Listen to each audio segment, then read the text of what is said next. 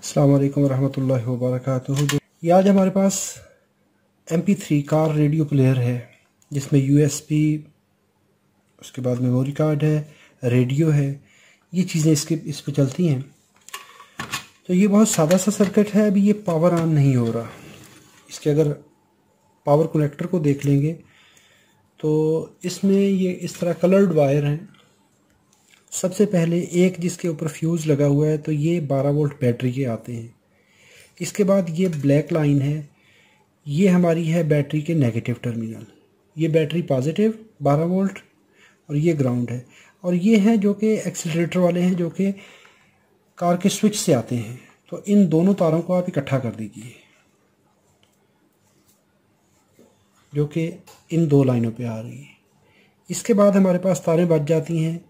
दो grey colour की, दो सफ़ेद कलर की और दो कलर हैं वायलट की और दो ग्रीन कलर की हैं।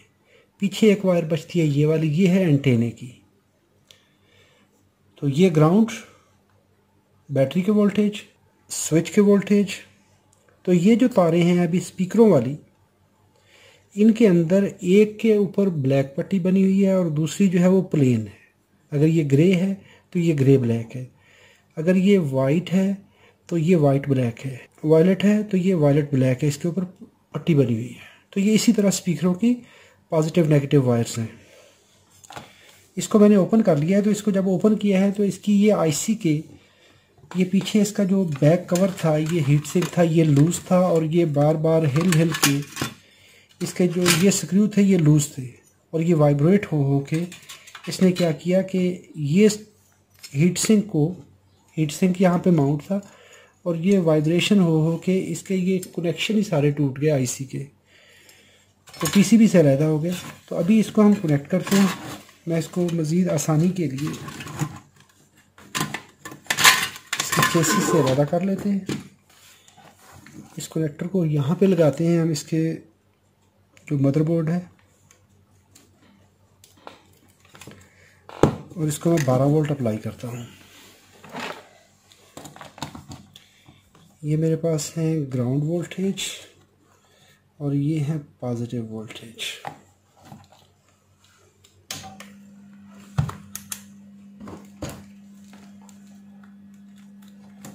ये ग्राउंड हो गया और ये पॉजिटिव 12.36 वोल्ट है, थोड़े से कम कर लेते हैं हम।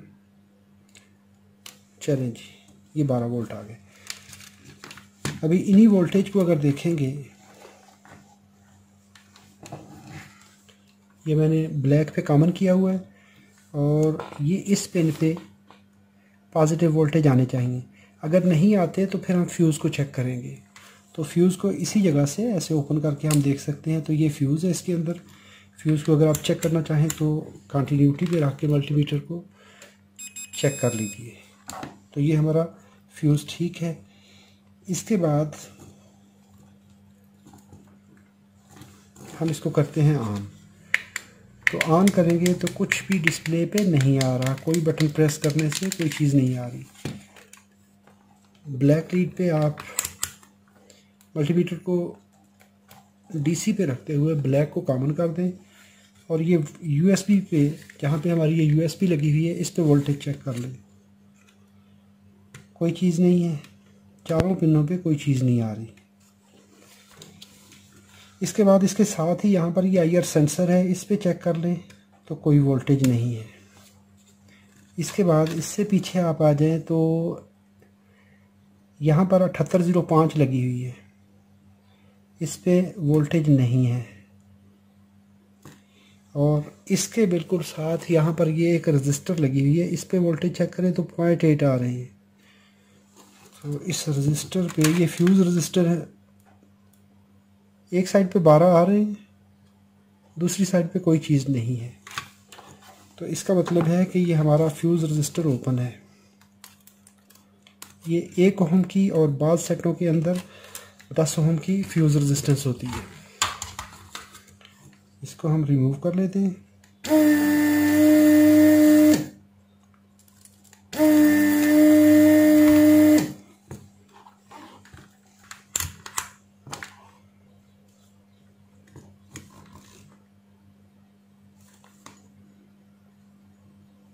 तो ये देखें छः श्री चौंतीस मेगा ओम दे रही है तो ये ओपन है। अगर इसको देखेंगे तो ये देखिए तो यहाँ से ये ये ब्रेक हो चुकी है, ये जल चुकी है। तो एक ओम की मेरे पास हाँ ये वन पॉइंट सेवन ओम दे रहा चले वन ओम ही है, लेकिन इसको मल्टीमीटर थोड़ा सा बता रहा है तो ठीक है, इसकी बात मान लेते हैं, लेकिन हम लगा लेंगे इसको।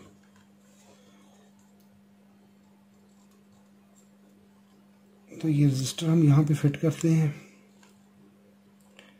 क्योंकि ये सेवन एट ज़ीरो फाइव जो है, ये पाँच वोल्ट देती है हमारे प्रोसेसर को। जब तक हमारा प्रोसेसर वर्क नहीं करेगा, उस वक्त तक इसने पावर ऑन नहीं होना, क्योंकि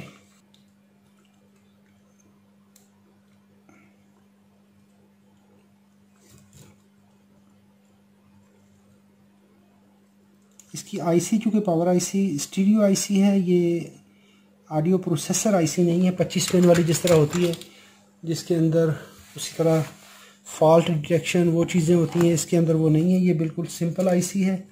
यानी उसको इनपुट दे दें आउटपुट आपको मिल जाएगी।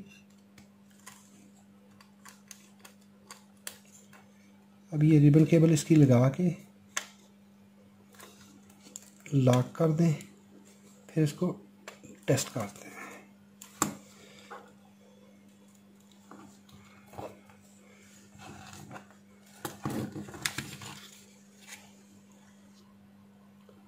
ये देखें, हमारा जो टाइमर है, उसकी डिस्प्ले आ चुका है।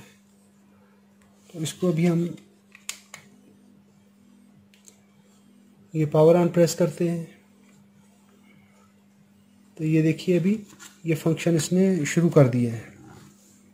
तो अभी हमारा फॉल्ट कितना था? टोटल ये रेजिस्टेंस का फॉल्ट था। तो अभी देखिए, उन्हीं वोल्टेज को जो हमने पहले चेक किए थे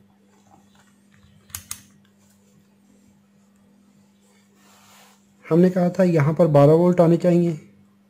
इस जगह पर 12 आने चाहिए। ये तो आगे आउटपुट है, और इस पिन पे 5 वोल्ट आने चाहिए। अभी ये 5 वोल्ट आ गए। क्यों? कि ये 12 वोल्ट जो हैं, इस फ्यूज़ रजिस्टर से गुजरने के बाद इस पे नहीं आ रहे थे। जब इस आईसी की लेफ़्ट पिन पे 12 वोल्ट नहीं आएँगे तो इसकी आउटपुट ही नहीं होगी। जब आउटपुट नहीं होगी तो हमारा ये वोल्टेज जो ये जा रहे हैं, ये इसको नहीं मिलेंगे। अच्छा इस कैपेसिटर पे 12 वोल्ट होना चाहिए। ये जो हमारा कैपेसिटर है, बड़े वाला। अगर इस पे आपको 12 वोल्ट नहीं मिलते तो आप ये डायोड चेक करेंगे, ये वाला। एक ये डायोड है, और यहाँ पर ये एक जंपर है। ये भी एक 12 वोल्ट का फ्यूज़ जंपर है। ये वाला एल फोर, जिस पे लिखा हुआ है, ये वोल्टेज आने चाहिए। और इसके साथ में, बिल्कुल साथ में ये डायोड लगा हुआ है। ये डायोड ठीक नहीं होगा तो यहाँ पर आपको वोल्टेज नहीं मिलेंगे। और इस आईसी को वीसीसी वोल्टेज यहाँ पर नहीं आएँगे। ये इसकी पिन नंबर चार पे वीसीसी वोल्टेज नहीं आएँगे। जब वीसीसी नहीं आएँगे तो ये काम नहीं करेगी। ये वाले पाँच वोल्ट प्रोसेसर को नहीं मिलेंगे तो प्रोसेसर ऑन नहीं होगा। अभी ये यूएसबी पे चेक कर लें। ये देखिए four point nine nine volt आ गए। इसी तरह ये आई आर सेंसर है, इस पर वोल्टेज आने चाहिए। तो ये आ गए। अगर ये वोल्टेज पहले स्टेप पे अगर आपने 12 वोल्ट चेक कर लिए हैं तो यहाँ पर अगर आपके वोल्टेज नहीं आएँगे ये वाले तो हमारा ये सर्किट ही ऑन नहीं होगा। ना यूएसबी डिटेक्ट होगी, ना मेमोरी कार्ड चलेगा। मेमोरी कार्ड की पिन नंबर इस दो पे तीन शरीक तीन वोल्ट आने चाहिए। ये थ्री पॉइंट थ्री वोल्ट होने चाहिए। ये थ्री पॉइंट थ्री वोल्ट होंगे तो हमारा ये कार्ड चलेगा। इसको थ्री पॉइंट थ्री वोल्ट चाहिए और इसको यूएसबी को पाँच वोल्ट चाहिए। इस तरह से हमारा ये सर्किट फ़ंक्शन करेगा। अभी नेक्स्ट वीडियो में हम इसको देखेंगे कि इसका सर्किट कैसे काम करता है और इसकी ये आईसी रिप्लेस करेंगे। अच्छा इसकी इस पेन पे, ये जो पहले वाली पेन है लेफ़्ट साइड पे पेन नंबर वन है, इस पे प्री एम्पलीफायर की इनपुट आ रही होती है। पहली और आखिरी पे स्टीरियो इनपुट आ रही होती है। और हमारे ये स्पीकर जो हैं, ये कनेक्ट हो रहे होते हैं यहाँ पर। मैं दिखाता हूँ इनको आप ये हमारे चार स्पीकर हैं। दो स्पीकर इकट्ठे हैं और ये पहला और ये आखिरी, ये स्पीकर इकट्ठे हैं।